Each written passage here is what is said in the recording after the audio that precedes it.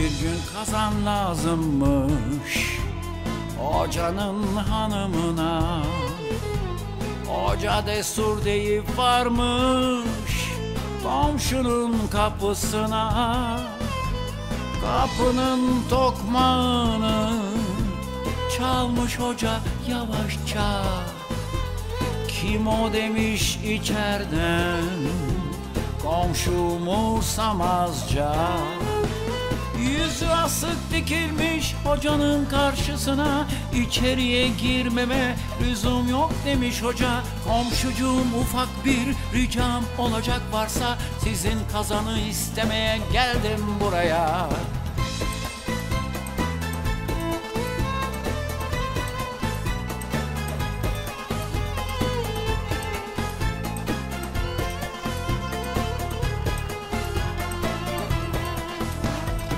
Kazanın lafı olmaz. Hocam bak rahatına. Çoğu zaman yardımcı Olur komşu komşuya. Hoca kazanı almış Kulpunu tuta tuta. Eve gelmiş al demiş Kazanı karısına Kadın almış kazanı halletmiş işlerini Güzelce de yıkamış kurulamış içini. Hocaya geri götür komşumuza ver demiş Hoca da içine bir tencere koyu vermiş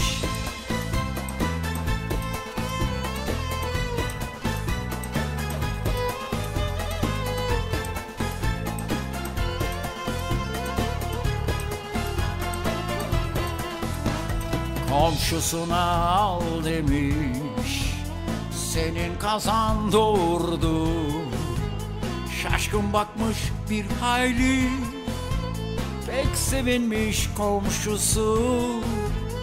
Memnun olmuş duruma. Hemen teşekkür etmiş. Birkaç gün sonra hoca Kazanı tekrar istemiş Komşusu gayet memnun buyur al hocam demiş Kazanı almış hoca. Komşusu yolcu etmiş Günler geçse de hoca kazanı getirmemiş. Komşusu biraz kızgın hocanın eve gitmiş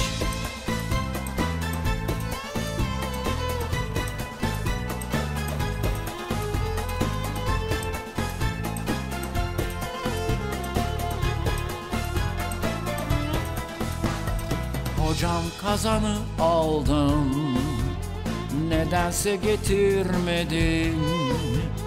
Alırken kazanımı Hemen vereceğim dedin. Komşu kazan sizlere ömür Öldü kazanın. Komşu ölür mü kazan? Demiş ve kalmış şaşkın Komşucuğum kazanın doğurduğuna inandın. Neden inanmıyorsun? Öldüğüne kazanın. Komşu bakmış çare yok. Hocamıza hak vermiş. Hoca ise arkadan bir hayli gülümsemiş. Komşu kazan sizlere ömür. Öldü senin kazanın. Doğurduğuna inandın da Öldüğüne inanmaz mısın?